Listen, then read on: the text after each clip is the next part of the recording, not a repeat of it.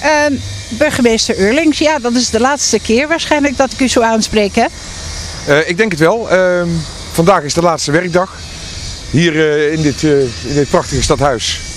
En ja, je ziet, je hoort ook volop lawaai, er wordt nog heel hard gewerkt. Volgende week is die waterboulevard klaar. en dan hebben. Moet die klaar zijn, hè? Ja, en dan hebben we ook een hele mooie stap gezet in de, noem, noem dat heel mooi, de rehabilitatie van die binnenstad. Hoe kijkt u eigenlijk terug op uw tijd hier? 6,5 maand hè, in Almelo? Ehm, ik kijk erop terug met uh, aan de ene kant ongelooflijk veel plezier. Uh, ik vind het werk als burgemeester uh, nou eenmaal hartstikke leuk. Heel boeiend, heel interessant. het was ook wel vrij pittig, want er, moest, is veel aan de hand in Almelo. Er moet ook een, een samenleving, een stad die werkt aan zijn toekomst, moet bezig zijn, moet perspectieven zoeken. Uh, en dit is hier een voorbeeld van, hè, dat, dat stadhuis, die waterboulevard. Daarmee laten we zien van, uh, ja, uh, Almelo, wees trots op jezelf. En er staat daar die, die grote hoofdletter A. En nou, daar heb ik een beetje de kreet, die heb ik een beetje gestolen, moet ik eerlijk zeggen. Maar dan zeg ik Almelo met een hoofdletter A. Wij proberen dat eens in je hoofd te krijgen. Probeer dat erin te houden. We hebben wel wel eens de neiging om een beetje in onze schulp te kruipen. Maar dan denk ik van, hup, ga recht staan. Je hebt een heleboel in handen. Zowel in je stad als in je woonwijken als in het voorzieningenniveau. Uh, Almelo heeft, heeft gewoon alles. Zegt iemand die eigenlijk van buiten Almelo komt. Ja, uh, dat is natuurlijk ook het voordeel eh, van als je van buiten komt. Uh, dat je dan ook een beetje van, van buiten naar binnen kijkt. En als ik dan van buiten naar binnen kijk, dan denk ik Almeloers. Je hebt heel veel reden om trots te zijn op je stad. En natuurlijk, er moet heel veel gebeuren. En dat is maar goed ook, want als er niks meer hoeft te gebeuren, dan uh, leven, we, leven in een museum. Dus er gebeurt heel veel.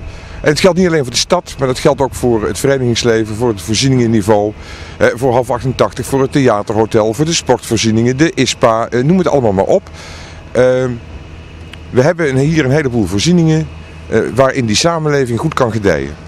En uiteindelijk gaat het daar natuurlijk om of de mensen die hier wonen, van welke kleur of afkomst dan ook, hier kunnen samenleven. Nou, dan wil ik toch even weten, u hebt de raad gekapitteld hè, in uw ene laatste raadsvergadering. Ja, ja, was dat nodig? Nou, ik vind uh, kapittelen niet het goede woord. Uh, ik heb wel gezegd, en uh, dat meen ik ook oprecht, uh, dat de gemeenteraad in Almelo, en, en dat, dat komt natuurlijk ook door de geschiedenis, daar ben ik me heel goed van bewust ehm, in mijn ogen het, het, het heft uh, in handen moet nemen waar het gaat om de inhoud. Om het geven van richting. Uh, de raad is erg veel bezig met, uh, met procedures. Dat zijn maar zo. Maar ik heb ze voorgehouden en ik vind dat woord kapittelen dan niet helemaal goed. Van kijk nou eens hoe je als gemeenteraad richting kunt geven aan die stad. Dat is veel belangrijker dan iedere keer maar kijken of procedures kloppen en, en, en dat soort dingen. Dat is een hartekreet. Ik, ik vind het geen kapittelen. Ik zag ook een kop, die vond ik, uh, die vond ik eigenlijk veel mooier. Uh, ik zag een kop in de krant en zei dat ik gezegd heb, de raad doet zichzelf tekort. De raad doet zichzelf tekort. Maar uh, soms is het ook ja, voor burgers in Almelo een beetje een Babylonische spraakverwarring. Hè? denkt u niet dat de kiesdrempel wat omhoog zou moeten?